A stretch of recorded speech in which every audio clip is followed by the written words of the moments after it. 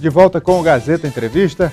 Estão conosco aqui representantes dos trabalhadores da área de saúde. Estou recebendo aqui o Pablo José, que é presidente do Conselho Regional de Enfermagem, e a Alesta Amâncio, que é representando aqui a direção do Sindicato dos Trabalhadores em Saúde. Ela é diretora de, de Saúde do Trabalhador, do Sintesac. E a gente vai falar da Semana do, da Enfermagem, né? Que tem início agora, amanhã. Isso, amanhã, dia e 12. Vai até a semana que vem. Isso, até o dia 20. Então, como é que vai ser essa programação? Bem, amanhã nós vamos pegar e, e vamos, vai ter a abertura às 18h30 no auditório do Hospital das Clínicas e que comemora em si o dia 12, o dia do enfermeiro. Como nós profissionais de enfermagem também temos o técnico de enfermagem, a semana da enfermagem termina no dia 20 com o dia do técnico de enfermagem. Então nós temos toda essa semana de programação. Ah, e como é que vai ser essa programação? Quais são as atividades? Bem, é, do dia 15 ao dia 19 nós temos cursos de capacitação profissional, tanto para profissionais já formados na área, como também para acadêmicos. É, sobre diversos assuntos, como atendimento pré-hospitalar, parada cardiorrespiratória, urgência emergência, anotação de enfermagem, cálculo de medicação, tudo isso para melhorar essa parte científica do aluno e também do profissional. Em relação, acho que os dois podem responder, as condições de trabalho de um profissional da área de saúde. Porque quando alguém reclama de um atendimento, né, normalmente se põe a culpa na direção do hospital ou no próprio governo, mas até que ponto vai a responsabilidade individual de cada profissional no atendimento? É. Quando nós falamos do conselho regional, todo conselho ele tem a, a, a função de fiscalizar o exercício profissional. Esse, essa fiscalização vai desde as condições de trabalho, como o senhor mencionou, assim como a sua atuação ética e profissional. Então, a partir do momento que o profissional ele, ele age, ele trabalha de forma ética e profissional, só que não desempenha suas funções porque há ausência de insumos, ele está livre de qualquer tipo de problema. E nós vemos que hoje em dia a saúde aqui da nossa região está muito precária.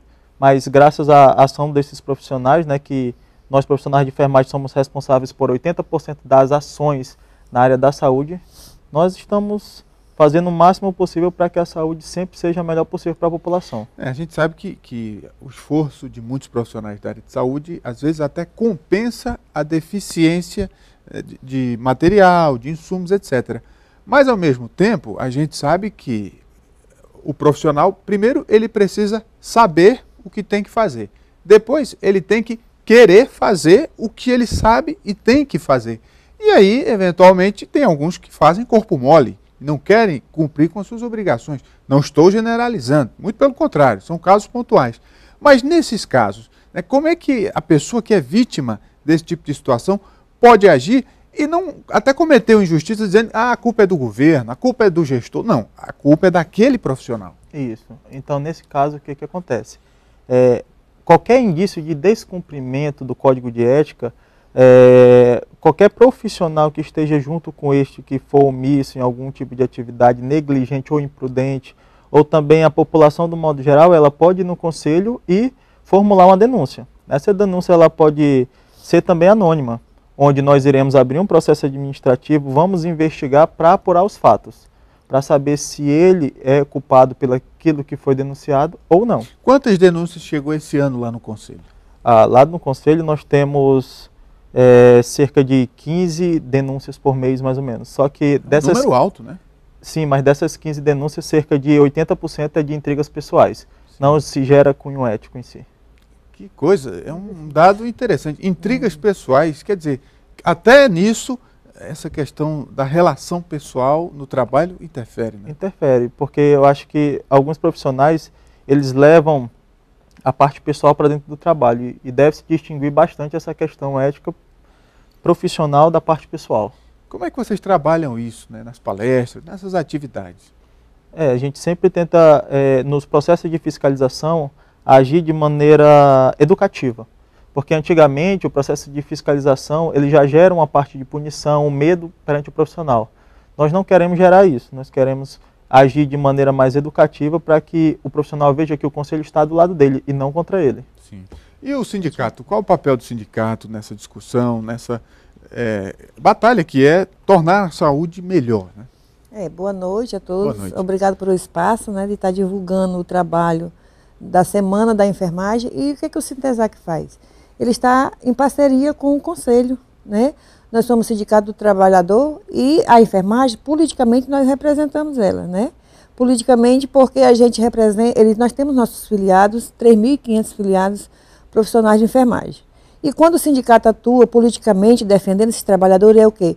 Ajudando eles, conscientizando, né? porque o sindicato ele não defende os erros, ele defende que se trabalhe corretamente, orienta, ajuda para que o profissional faça um bom trabalho. Né? E a parceria é junto com o Corém por isso, porque nós, nós dependemos um do outro.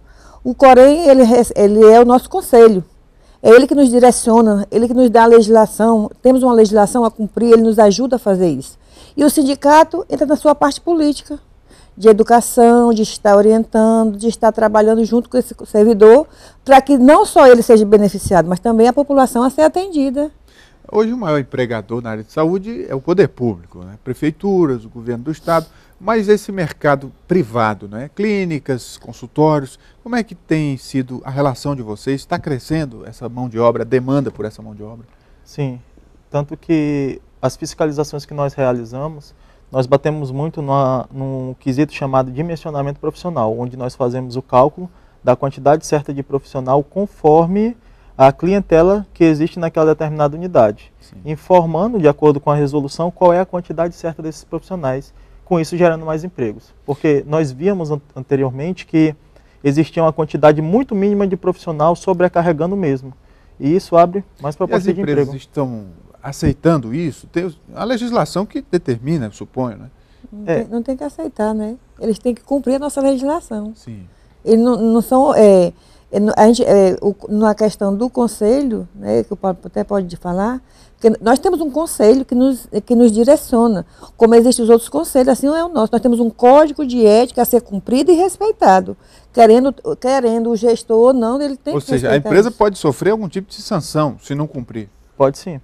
Da mesma forma que o Estado também pode sofrer essas sanções. É, é no caso do Estado, é, é até covardia, né? Porque o Estado, quando vai para a justiça, tem privilégios que o cidadão comum não tem. Como, Isso por exemplo, mesmo. prorrogar ad infinitum uma condenação, é, né?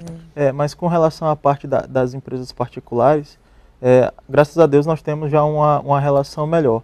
Porque nós procuramos sempre conversar com o gerente de enfermagem para que esse diálogo aconteça da melhor forma possível claro, e chegarmos no é denominador comum. solução, não resta dúvida. Isso mesmo. Agora, para a gente encerrar, vamos reforçar a programação, é. as datas, o local onde vai acontecer, o, a Semana da Enfermagem, né? Isso. Então, a Semana da Enfermagem, nós temos a abertura é, agora sexta-feira, às 18h30, no auditório do Hospital das Clínicas. É muito importante a participação de todos. É, vale ressaltar que será sorteado uma passagem ida e volta para o Rio de Janeiro para a participação do 20 Congresso Brasileiro de Enfermagem e também uma bolsa integral de pós-graduação pela faculdade pela faculdade que está conveniada com o Conselho Regional de Enfermagem. Então é importante a presença de todos. Além disso, nós também no dia 20, nós temos a primeira corrida da enfermagem que vai ter a partida lá no Conselho Regional de Enfermagem às seis e meia da manhã, com término lá no funcional do Sérgio Costa, lá no bairro 15. Muito bem, agradecer aqui a presença dos representantes dos trabalhadores da saúde, o Pablo José, que é presidente do Conselho Regional de Enfermagem, e a Lesta Mâncio, representando aqui o Sindicato dos Trabalhadores em Saúde. O Gazeta Entrevista vai terminando no oferecimento de Verágua, essa marca aqui, nossa parceira, água mineral produzida no Acre, com padrão de qualidade. Escolha Verágua. E a gente termina o Gazeta Entrevista. Boa noite para você, um forte abraço e a gente volta amanhã nesse mesmo horário.